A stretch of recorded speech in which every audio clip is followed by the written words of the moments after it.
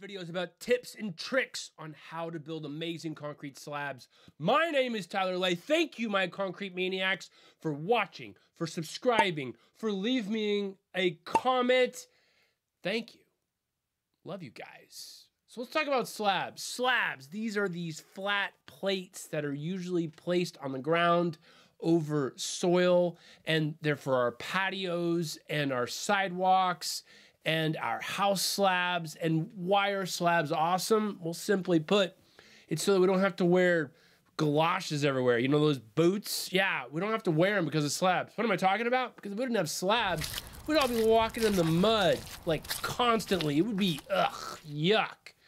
But we can instead have these beautiful, amazing, wonderful concrete surfaces where we can enter entertain and have a great time and not have to walk around in the mud. But how thick do slabs need to be? I get asked that question all the time. Well, it depends. If I have to hold cars and people, then I want it about four inches or so thick. If I'm holding trucks or big O industrial equipment, then it is usually between six inches and eight inches thick. And if I've got like heavy trucks, like 18 wheelers, if I'm carrying airplanes, it's eight inches, 12 inches thick, sometimes even 20 inches thick. It really depends on the soil, the loads, and the load placement. Now, one big no no or thing to watch out for for slabs is edge loading and corner loading. They are a big deal. What am I talking about? If I have my slab here and I load it right here on the edge, maybe a car drives on it, a truck drives on it, something gets dropped on it, that's a big deal because the base doesn't provide as much support right on the edge. This can cause cracking and breaking. It can look like this and ah, man. So, how do we stop cracking in our slabs? Well, concrete shrinks as it dries. Like this is a slab of concrete on our soil. If we have the sun beating down, the wind beating down on it, then that concrete actually zoomed in looks like this. See all those holes in it? Doesn't it look kind of like a sponge, right? As sponges dry, they shrink. What am I talking about? Yeah, you know what I'm talking about. Shrink, shrink, shrink. The concrete does the exact same thing. It's just much more brittle and it will cause more cracking. So as the sun is beating down, the wind is blowing, this concrete tries to shrink. And if it's held in place by the soil underneath, this causes stresses. This is called restraint. At least that's the technical term for it. If the restraint is high enough, it will cause cracks. So high resist, high restraint with high shrinkage concrete will it cause cracking? No, that's bad if on this project they cast this slab here on top of another slab here that is about as much restraint as you can ever possibly get. And so as it started to shrink you can see it got a big old crack in the middle. Ugh so how can we stop this? How can we stop this cracking that happens um, um, in the slabs? Well, you can decrease the shrinkage of your concrete. You can reduce the restraint for the area below. Let's talk about decreasing shrinkage first. This is basically designing your concrete to shrink less, to have a low amount of shrinkage. And the simplest way to do this is to reduce your paste volume.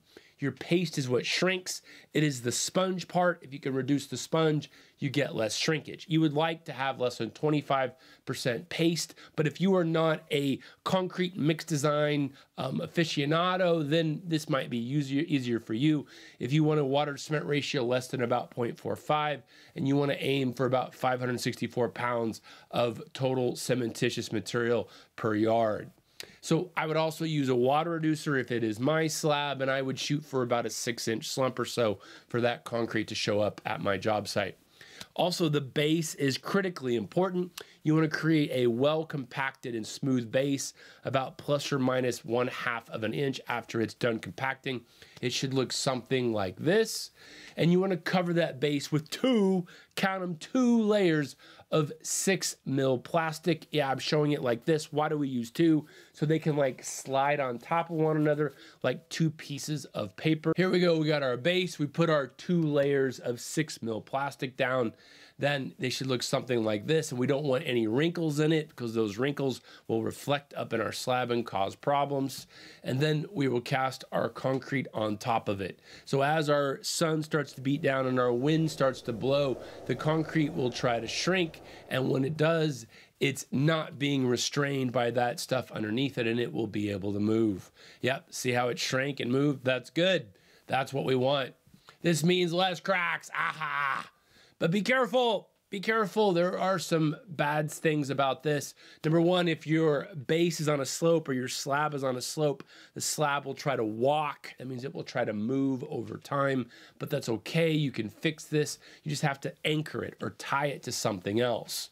So that's something you, a detail that you want to watch out for.